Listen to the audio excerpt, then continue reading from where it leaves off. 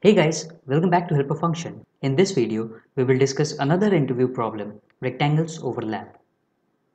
So the problem statement says that we are given with two rectangles and we need to determine if they overlap or not. Now for the representation of rectangles, we have been given two coordinates.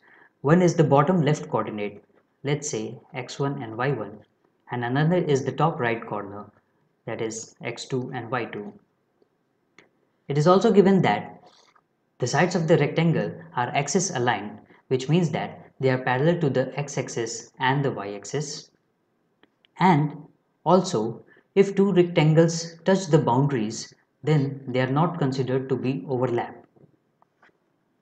So let's say for example we have one rectangle with coordinates as 0 0 and 2 2 and then we have another rectangle with coordinates as 1 1 and 3 3 so if we draw the first rectangle let's say this is 0 0 and this is 2 comma 2 this will be my axis. And for second rectangle this point would be 1 comma 1 and this point would be 3 comma 3 so that's my second rectangle so from the figure, it is clear that they overlap and because they overlap, we will return true as our answer. So let's see how we will solve this. Let's say this is the first rectangle given with coordinates x1, y1 and x2, y2. Now, let's consider the cases where the rectangles, second rectangle will not overlap. That is, the second rectangle can be here, here, here, here, or anywhere outside this rectangle. Now note that if the rectangle is inside the first rectangle, it is also considered to be overlapped.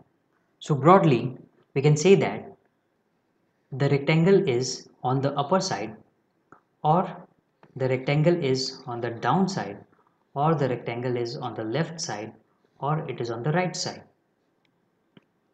Let's try and understand again. This is our first rectangle with coordinates x1, y1 and x2, y2. Now let's say we have a rectangle on the upper half. Then this will not overlap with, let's name its coordinate as p1, q1 and p2, q2.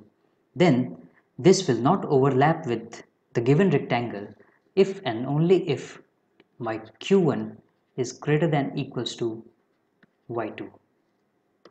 If we have a rectangle on the lower half, then again this will not overlap with the given rectangle if and only if my y1 is greater than equals to q2.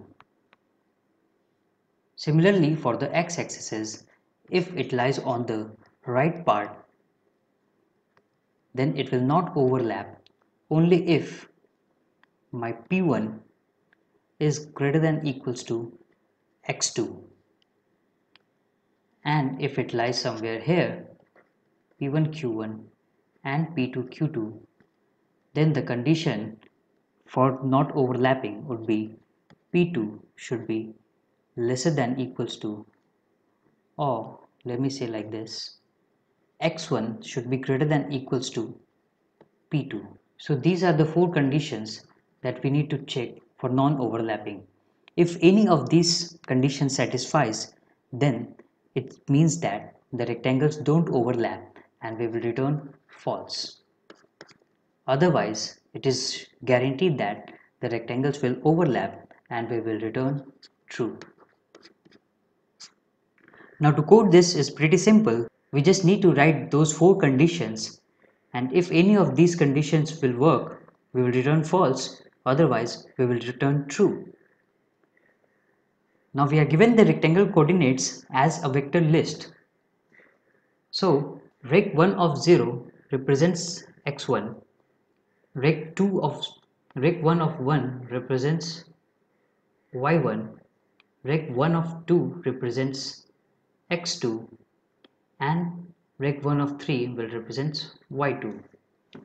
Similarly, this will represent p1 this will represents P2, this represents Q1 and this represents Q2. Thus our four conditions are x1 greater than equals to P2, P1 greater than equals to x2, y1 greater than equals to q2 and q1 greater than equals to y2. So if we go back to the dashboard, these were the four conditions that we have written. So this was all about the problem. I put the problem link in the description so you can go and solve it. If any doubts or suggestion, please write in the comment. And if not subscribed to the channel yet, then please do that. Thank you so much for watching.